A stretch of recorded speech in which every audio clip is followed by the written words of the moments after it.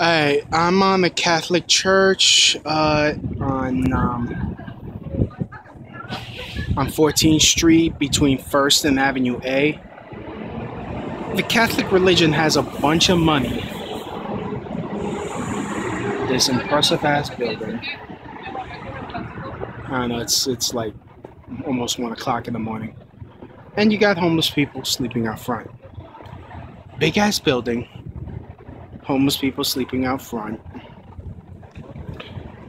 Yeah. Way to go, Catholics.